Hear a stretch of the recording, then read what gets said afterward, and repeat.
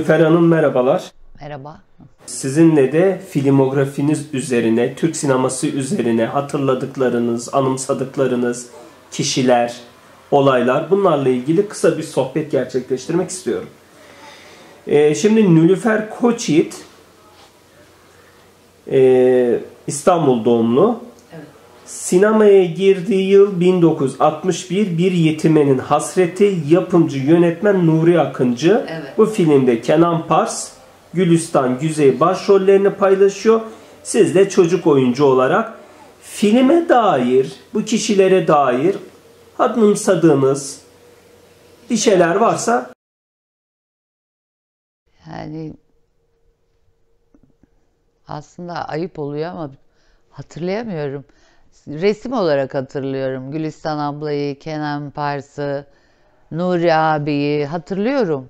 Ama resim olarak yani bir şeyler hatırlamıyorum. devam edelim.